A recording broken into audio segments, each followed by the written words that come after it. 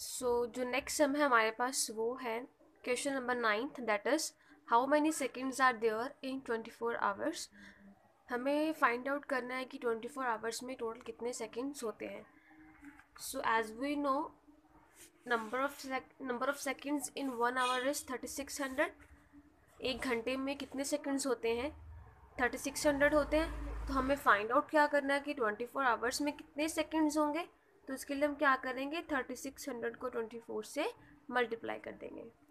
तो four zero the zero, four zero the zero, four six the twenty four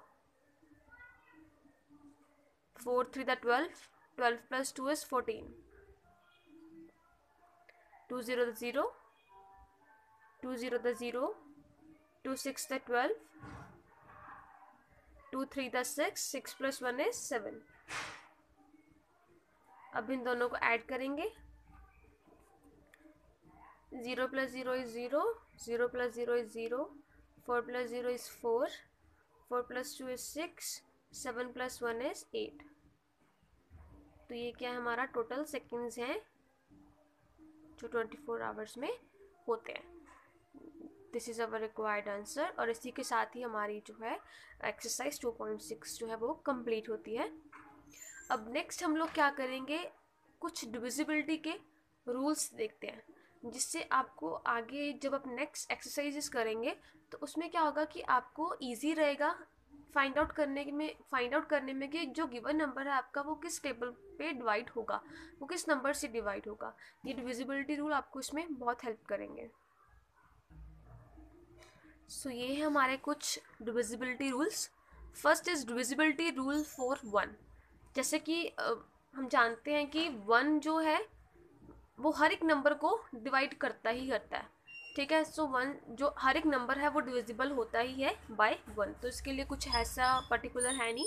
तो हम second rule की तरफ़ देखते हैं। That is divisibility rule for two divisibility rule rule for two में क्या है कि कोई भी जो गिवन नंबर है हमारे पास वो टू से डिवाइड कब करेगा? अगर गिवन नंबर में लास्ट डिजिट जो है, वो या तो ज़ीरो होना चाहिए, या टू होना चाहिए, या फोर होना चाहिए, या सिक्स या एट होना चाहिए। फॉर एग्ज़ाम्पल जैसे अभी कोई नंबर ले लेते हैं हम लोग। वन टू फोर ये नंबर है। अगर हमें चेक करना है कि ये टू से डिवाइड होता है कि नहीं होता है तो हम क्या करेंगे? जो लास्ट वाला डिजिट है, उसको चेक कर देंगे कि वो इनमें से कोई है कि नहीं। अगर इनमें से कोई होगा तो ये नंबर जो है, वो टू से डिवाइड होगा। अदरवाइज़ नहीं। अगर यहाँ पे टू फोर सिक्स एट या ज़ीरो के अलावा कोई और नंबर होगा तो क्या होगा कि वो नंबर जो है वो मल्टी वो डिवाइड नहीं होगा टू से, अगर यहाँ पे लास्ट डिजिट जो है गिवन नंबर में, अगर वो ज़ीरो टू फोर सिक्स और एट है तो वो नंबर जो है गिवन नंबर जो है वो डिवाइड होगा टू से।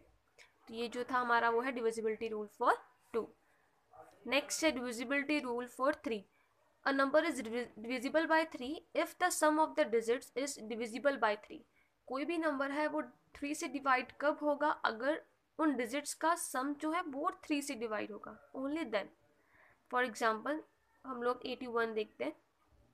हमें चेक करना है कि एटी वन थ्री से डिवाइड होता है कि नहीं होता है। अब जो एट और वन डिजिट जो है, इन दोनों को ऐड करो। Eight plus one that is nine ना। अब नाइन तो थ्री पे डिवाइड हो थ्री जो है नाइन को डिवाइड करता है ना दैट मीन्स थ्री जो है वो एटी वन को भी डिवाइड करेगा। हमने इन डिजिट्स का सम करके देखना होता है। ठीक है, अगर कोई और सम ले लेते हैं हम लोग four plus one four one ले लो फोर्टी वन ले लो। अब फोर्टी वन में अगर मैं डिजिट्स को ऐड करूँ फोर प्लस वन करके देखूँ वो तो फाइव आ गया। फाइव तो थ्री से डिवाइड नहीं होता है ना तो फोर्टी वन भी थ्री से डिवाइड नहीं होगा। हमने डिजिट्स का सम करके देखना है कि अगर सम डिवाइड होता है थ्री से तो वो हो जाएगा।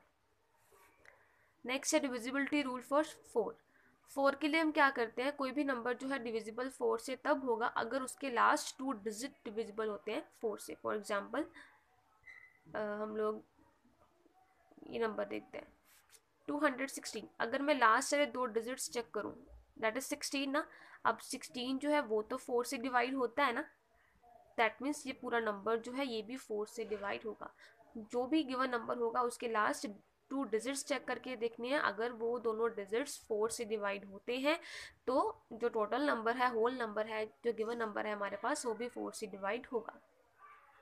ये था आपका डिविजिबिलिटी रूल फॉर फोर जो नेक्स्ट है हमारा divisibility rule that is divisibility rule for five कोई भी नंबर जो आपको गिवन है, वो डिविजिबल फाइव से तब होगा अगर उसका लास्ट डिजिट या तो ज़ीरो हो या तो फाइव हो। फॉर एग्ज़ाम्पल हम ट्वेंटी लेते हैं। ट्वेंटी फाइव से डिवाइड होता है ना, क्योंकि यहाँ पे लास्ट डिजिट ज़ीरो है आप चेक कर सकते हो, ट्वेंटी फाइव ले लो, ये भी डिवाइड होता है। अब फिफ्टी टू लेके देखो फिफ्टी टू डिवाइड होता है फाइव से, नहीं होता है। तो हम जो अगर किस, अगर गिवन नंबर में लास्ट डिजिट पे ज़ीरो या फाइव है तो वो नंबर जो है फाइव से डिवाइड होगा। नेक्स्ट है हमारे पास डिविजिबिलिटी रूल फॉर सिक्स कोई भी नंबर सिक्स से डिवाइड तभी होगा अगर वो इंडिविजुअली टू एंड थ्री से भी डिवाइड होता है। तो हम लोग क्या करेंगे, जो गिवन नंबर है फॉर एग्जांपल ट्वेंटी फोर ले लेते हैं। अब ट्वेंटी फोर जो है, हमने चेक करना है कि ये सिक्स पे डिवाइड होता है कि नहीं होता है, या कोई और number twenty four twenty four से देखते हैं। अब हम, हमने चेक करना है कि सिक्स से डिवाइड होता है कि नहीं होता है तो हम क्या करेंगे इंडिविजुअली टू और थ्री से डिवाइड करके देखते हैं कि टू के टेबल पे ये कट होगा, ये डिवाइड होगा टू के टेबल पे। अब टू के लिए हमने डिविजिबिलिटी रूल क्या पढ़ा था, कि अगर last digit two, four, six, eight या ज़ीरो हो तो वो डिवाइड करता है टू से। अब यहाँ पे लास्ट डिजिट फोर है ना दैट मीन्स ट्वेंटी फोर जो है वो टू से डिवाइड होता है। ठीक है, अब हम थ्री से चेक करते हैं। थ्री के लिए हमने क्या रूल पढ़ा था कि अगर डिजिट्स का सम थ्री से डिवाइड हो तो पूरा नंबर भी डिवाइड होगा। अब फोर और टू को ऐड करके देखो क्या बनता है। सिक्स ना? अब टू प्लस फोर कितना होता है? सिक्स होता है ना? अब सिक्स जो है वो थ्री से तो डिवाइड होता ही होता है। अब ट्वेंटी फोर टू से भी डिवाइड हुआ ट्वेंटी फोर थ्री थ्री से भी डिवाइड हुआ। अब जब भी कोई नंबर टू से भी डिवाइड हो थ्री से भी डिवाइड हो तो वो सिक्स से भी डिवाइड होगा। We can see in the table six four the twenty four तो ट्वेंटी फोर सिक्स से भी डिवाइड होता है। नेक्स्ट है divisibility rule for eight divisibility जैसे फोर के रूल में देखा था हमने कि लास्ट टू डिजिट्स को चेक करना होता है कि लास्ट टू डिजिट डिवाइड होते हैं कि नहीं होते हैं। उसी तरह हम यहाँ पे देखेंगे एट एट के लिए डिविजिबिलिटी रूल में क्या है कि जो गिवन नंबर है, अगर उसके लास्ट थ्री डिजिट्स जो हैं, अगर वो एट से डिवाइड हो तो जो गिवन नंबर है, वो भी एट से डिवाइड होगा। ठीक है?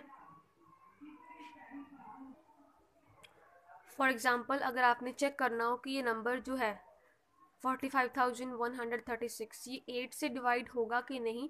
तो आप क्या करोगे? इसके जो लास्ट थ्री डिजिट्स हैं, इनको करके देखोगे। डिवाइड करके देखोगे एट से। अगर इसके लास्ट थ्री डिजिट एट से डिवाइड हो रहे होंगे तो ये पूरे का पूरा नंबर भी एट से डिवाइड होगा।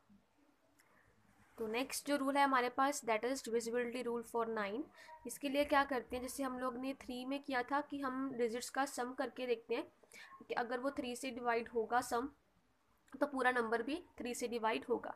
तो नाइन में हम क्या करेंगे? A number is divisible by nine if the sum of the digit is divisible by nine इसमें भी सेम वैसे ही करना है, जो हमें नंबर गिवन होगा, उसके डिजिट्स का सम करके देख लेना है। अगर सम नाइन से डिवाइड होगा तो वो होल नंबर जो है, वो भी नाइन से डिवाइड होगा। फॉर एग्ज़ाम्पल अगर हम one two three four number है, इसको हम ऐड करके देखते हैं। That is two plus one is three three plus three is six six plus four is ten अब टेंथ तो नाइन से डिवाइड होता नहीं है तो ये नंबर जो है वन टू थ्री फोर जो मैंने नंबर लिया था वन थाउज़ेंड या twelve hundred thirty four number जो मैंने लिया था, वो नाइन से डिवाइड नहीं होगा।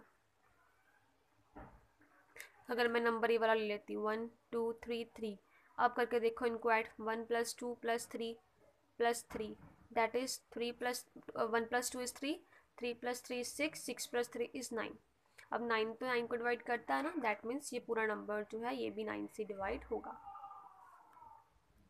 नेक्स्ट है डिविजिबिलिटी रूल फॉर टेन इसमें क्या था? If a number has last digit zero then it is divisible by ten अगर जो नंबर गिवन है, अगर उसका लास्ट डिजिट ज़ीरो है तो वो डिविजिबल होगा टेन से। ये सिंपल है बिल्कुल। ठीक है? तो ये था, ये थे आपके divisibility rules thank you class